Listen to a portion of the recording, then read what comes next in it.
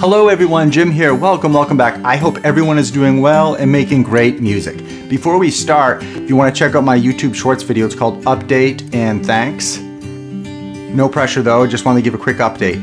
In this video, MuseScore 3.6, we're going to be discovering palettes. This is a video for beginners or anyone that needs a refresher. So I had a subscriber reach out and they're asking questions about the palette and there's a, lot of things you can do using palettes in MuseScore. And guess what?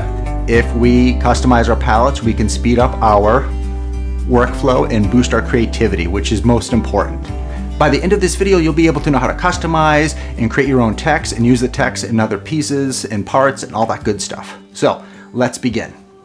Okay, like every software, especially music notation, things can get really detailed. So I just want to say right away, I'm not going to touch upon everything about the palettes. I know some viewers might be like, oh, why didn't you say this or that? I'm going to just touch upon a few things that I want to share because some of the subscribers reached out. So in the basic version, we have the palette over here. You can go ahead, mouse, click, and then move it as you wish. In previous versions, you can double click the chevron, I think it's called that, and that will release the palette. To bring the palette back, you just click the bar up here okay? The basic version has basic folders.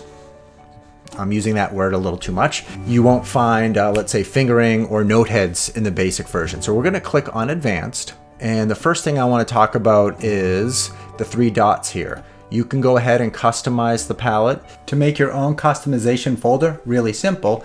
Like I was saying, the three dots, you're gonna go ahead and click on the three dots and click insert new palette. And then you can title it what you wish. And then after you click create, that folder will go above where you just created. So if I do another one like bar lines, and if I click there, insert new palette, I could do bar lines part one, because now I click create, it will go above that bar line, because that's where I click the three dots.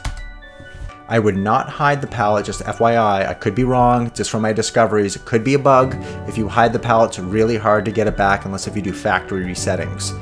I know sometimes programmers watch this, so if you want to dial in, that would be great. So let's go ahead and talk about customization. So the first part of customizing the folder is you've created one and you've titled it.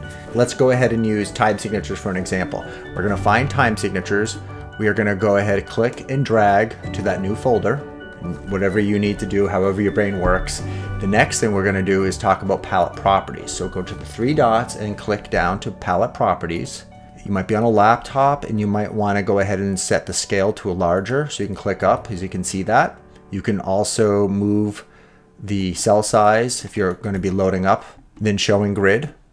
Simple as that. However, let's say it's not that simple. You want to get a certain symbol in that palette. So you can press Z for the master palette. This will show up. You can go ahead and write in in the search what you're looking for. Uh, I'll type in fingerings and then you can simply you drag and drop to that palette. As simple as that. All right, so we're gonna go to a workspace and I'm gonna give it an example now because in this workspace I'm gonna have this. I'm gonna click the plus sign to the far right. I'm gonna label it vid example. Click save for now.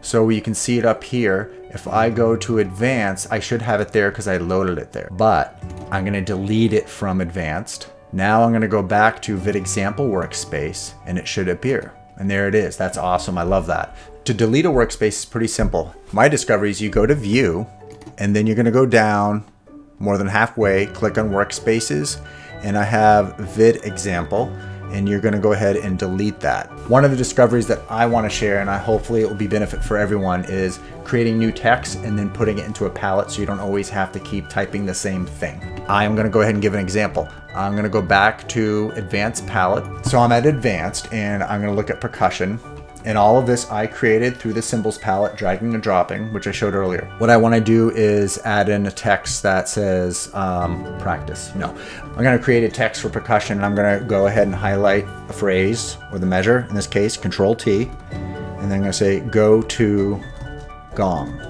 Now what I do is I'm going to take that text, drag and drop it to the palette, but you must press control and shift, then drag, and then it will load and then you can organize it how you like. If I don't press Control and Shift, it just stays on the screen.